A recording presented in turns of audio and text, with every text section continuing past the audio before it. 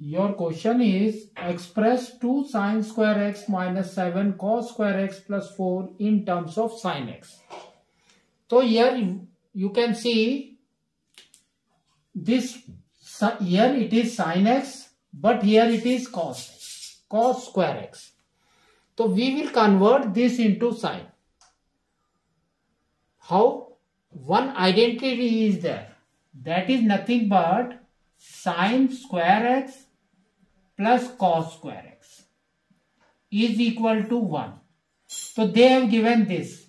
So that means it will be cos square x is equal to 1 minus sine square x. This value you have to substitute here. So we will get 2 sine square x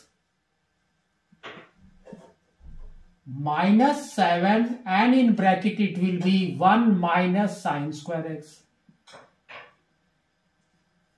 plus 4. Solve this. You will get 2 sine square x